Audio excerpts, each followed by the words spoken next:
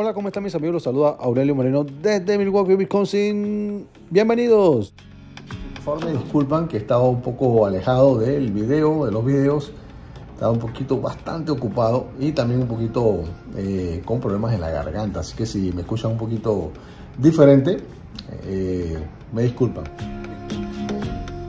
Se suponía que el, próximo combate de Teofimo López, Brooklyn López, iba a ser el próximo 10 de diciembre ante el puertorriqueño José Sniper Peraza. La fecha se mantiene, pero ha cambiado el rival. Y un rival ahora que es más peligroso que el Sniper Pedraza. Se trata de el español Sandor Martín. Sandor Martín. Se había hablado de este Sandor Martín en una ocasión para enfrentarse a Teofimo López. Y como que el grupo de Teofimo López dijo, no, no, no, no nos queremos enfrentar a este Sandor Martín. Él, eh, que viene, bueno, no viene porque él ya hizo una pelea después de haberle ganado el año pasado, creo que fue en octubre del año pasado, él le gana a Mikey García.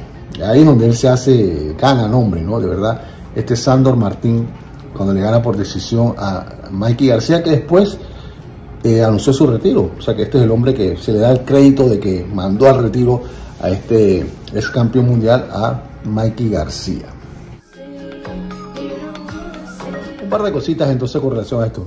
La pelea se mantiene, la fecha se mantiene el 10 de diciembre, Madison Square Garden, la misma fecha, pero cambia, ¿no? Teofimo López, Berroque López, antes Sandor Martín.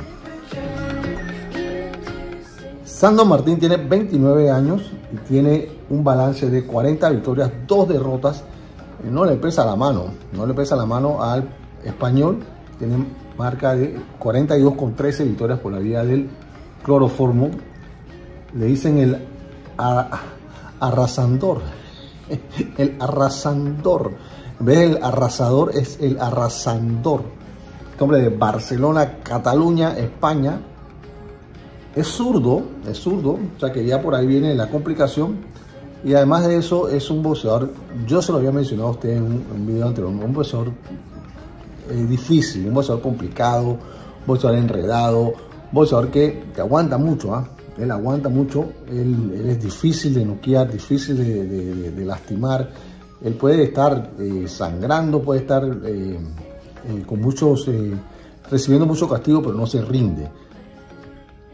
Quiero ir al hecho de que este hombre lo reconocen porque él le gana a Mikey García el año pasado. Después, después de eso él hizo otra pelea, él le ganó a José Félix, esto fue a principios de este año, en abril de este año le gana a José Félix también por decisión. Nuevamente no le pesa tanto la mano, pero es un boxeador difícil, un boxeador complicado. Y al principio, cuando Teofimo López sube a 140 libras, este hombre se había mencionado como una de las potenciales, eh, unos potenciales rivales de, eh, López, pero el grupo de, López eh, decidió no, no vamos a pelear con él. Ellos hicieron su primera pelea contra Campas, José Campas, ¿se acuerdan? Él gana esa pelea y luego habían decidido enfrentarse a, el sniper Pedraza, quien eh, se enfermó, por eso que no puede pelear de sniper Pedraza, no sé si lo mencioné anteriormente, pero no está enfermo con relación al COVID, tiene otro tipo de enfermedad, la cosa es que no va a poder pelear. Y entonces lo reemplaza Sandro Martín, que había estado entrenando, porque Sandro Martín se había estado hablando su nombre, se había estado mencionando de que podía enfrentarse a Teofimo López, así que él está entrenando un par de cosillas aquí. Sí, este boxeador es más difícil que el Sniper Peraza. Para mí es más complicado. Claro que sí. Pero hay un par de cosas para, calmar un poco a los que a los fans de Teofimo López, como yo. Sandro Martín en realidad no se ha enfrentado a nadie, aparte de eh, eh, Mikey García.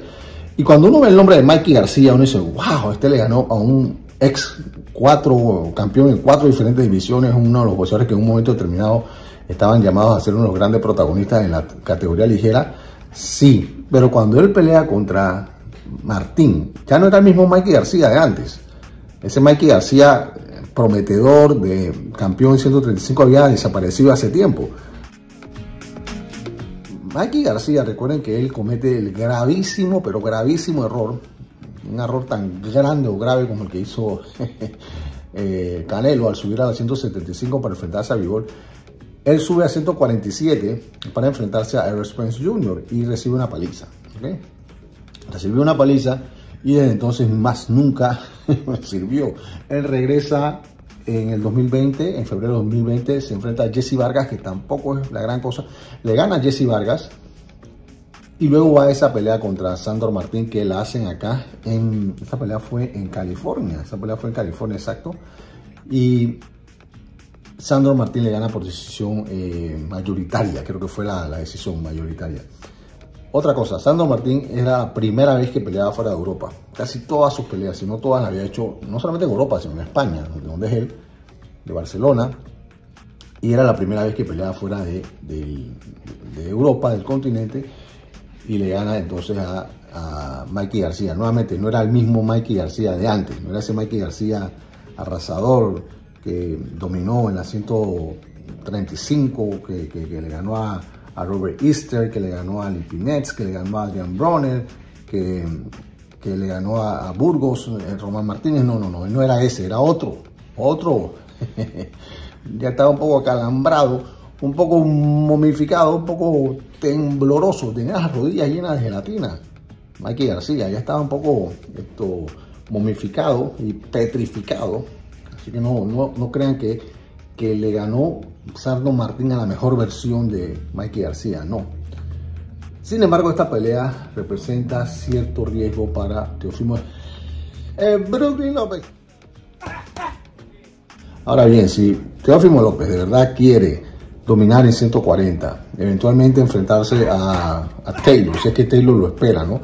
En las 140 libras y quitarle ese título de Taylor que tiene ahora mismo, creo que es solamente de la OMB o enfrentarse al ganador de eventualmente, ya sea un eh, Sean Cepeda o un José Ramírez o un eh, eh, cualquiera de los boxeadores que están en línea buscando los títulos de las 140 libras que ha ido dejando vacantes Josh Taylor. Si Brooklyn López de verdad quiere dominar las 140 libras, tiene que ganarle a Sando Martín. Él no debe tener problemas con Sando Martín.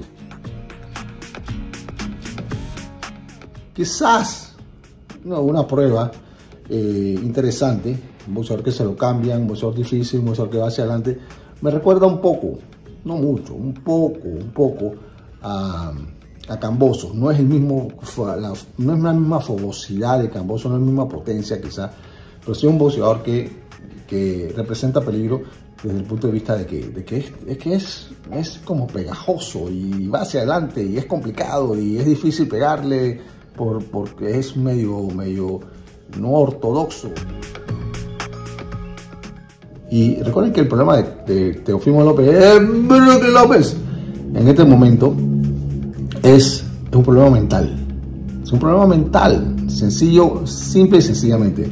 No estamos hablando de la parte física. Yo creo que Teofimo López ha perdido mucho, particularmente en la confianza después de su pelea contra Camboso. O sea, ahí donde él esto, eh, veo yo que puede ser que eh, tenga dificultad de recuperar la confianza.